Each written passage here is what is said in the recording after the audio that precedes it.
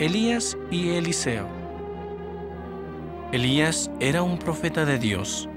Tenía el poder del sacerdocio, lo cual es el poder de Dios. Había envejecido y Eliseo lo había acompañado por muchos años. Dios había dicho a Elías que Eliseo sería el próximo profeta. Elías y Eliseo fueron al río Jordán. Elías golpeó el agua con su manto y las aguas se apartaron para que ellos pudieran cruzar. Elías y Eliseo caminaron y conversaron juntos, y Eliseo quería tener el Espíritu Santo. Eliseo llegó a ser el profeta. Él tenía el poder del sacerdocio, el poder de Dios.